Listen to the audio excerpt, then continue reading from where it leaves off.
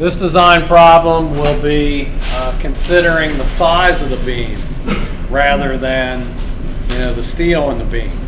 So this one will be to design the size. By that I mean the width and the effective depth that you need. And really when we talk about size for design, we'd be talking about the overall depth as well too. Um, design the size of a, a beam to hold, let's say MU is equal to 300 foot kips. Of course, we gotta, if we're doing this type of design, we're gonna have to lock something else down.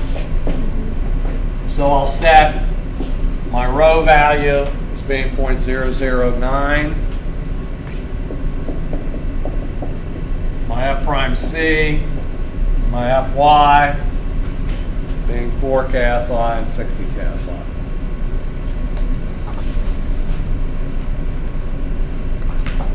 Okay? So, how are we going to do this? It's a little bit more wide open. You're really looking at two variables now instead of one variable.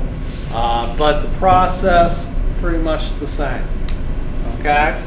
We start out by saying, hey, my design capacity has to be at least equal to mu. We can write my design capacity like this, phi BD squared times K bar is equal to mu that we have to support 300 foot kips. What I'm looking at here is this. So what I'll do is I'll solve for this term BD squared. I know what phi is. Do I know what K bar is? Yes. Yes, you do. Uh, you have to look it up, but you do know what K bar is because you're given this and you're given that information. So you're going to go into the table with uh, the table that's listed as 4 KSI concrete, 60 KSI steel, or 4,000 and 60,000. And you're going to find a rho value of 0.009, and from that, you're going to tell me that the K bar value is what? 4, 9.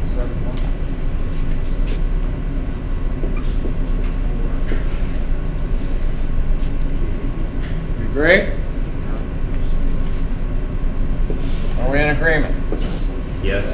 Okay, 0.4971. All right? So, this becomes 300 foot kips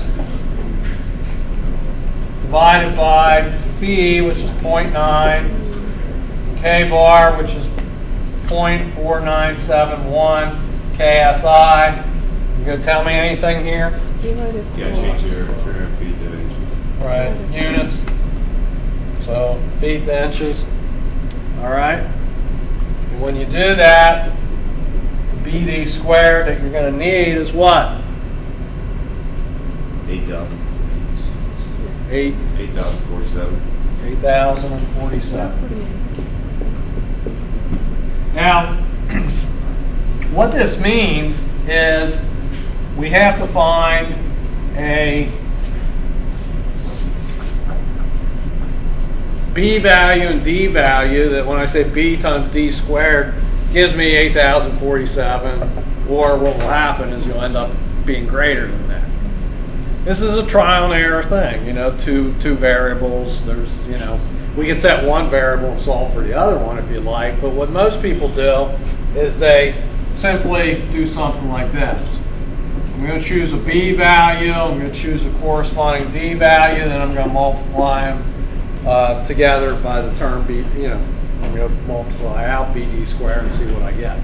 Here's the deal. Most efficient rectangular beams have a depth D that's probably going to be about one and a half to maybe two times what the width is. For instance, if I say 12 inches width, most depths probably be beams, efficient beams would have a depth maybe 18 to 24 inches. Okay? So the width is usually smaller than the depth. You know, mm-hmm. depth is usually about one and a half times. So, hey, let's try that. Let's try 12 and 18. So take 18 squared times 12. What do you get?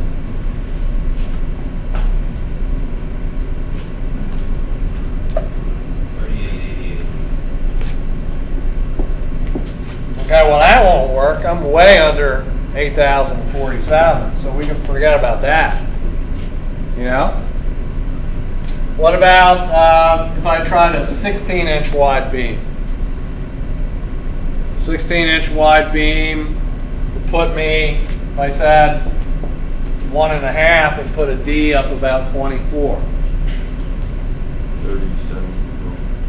24 squared times 16. Ninety-two sixteen. Hey, now that would work. Okay. You might be able to whittle it down, maybe, maybe 14 by 24. What's that? 8,064. Eighty sixty-four. Yeah, well, and you could keep on doing these trials, but for us right now, hey, you know, what the heck? I mean, that's that's pretty good, you know. So what this is telling us is I could use a 14-inch wide beam. Now again, this is conjecture at this point. I mean, are the real project parameters such that a 14-inch wide beam would be supported? Okay, when I say an effective depth of 24 inches, that's to the centroid of the steel, so my beam, you know, probably is going to be 26, 27 inches deep. Will the project support a 27 inch deep beam? Mm-hmm. You know, so there, there's those sorts of things that you gotta, you know, in the real world, you gotta think about. But nonetheless, let's go with this. My area of steel then would be rho times B times D.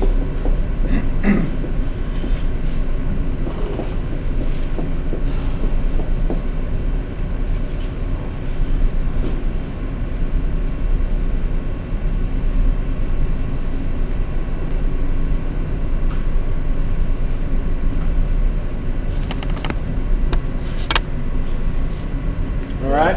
Three, no, no, two, four.